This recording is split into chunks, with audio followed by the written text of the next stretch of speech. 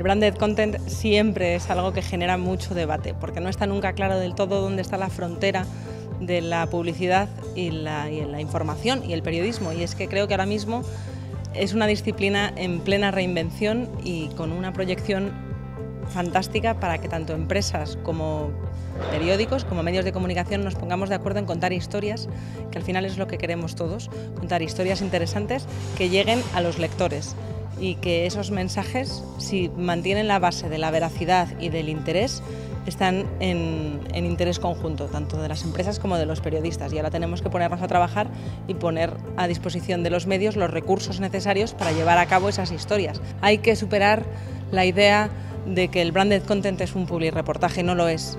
Un public reportaje y peor aún, un public reportaje que no se identifica como tal, son noticias falsas. Hay que ser honesto y hay que ser transparente con los lectores. Hay que decirles que detrás de esa información hay una marca. Pero eso no es malo. Si una marca está poniendo los recursos para que se cuente una historia interesante, una buena historia, algo que llega al público, no tiene por qué ocultarlo en ningún momento. Es más, tiene que enorgullecerse de ello.